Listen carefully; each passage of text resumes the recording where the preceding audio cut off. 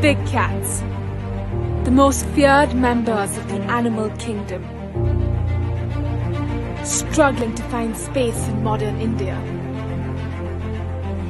As the city expands rapidly into some of our last remaining wild spaces, humans and big cats are being forced to confront one another. But in some pockets, people are learning to live with big cats. But what is the secret behind this coexistence? Find out, I'm embarking on a journey of a lifetime. This forest is where the natural world meets the historical world.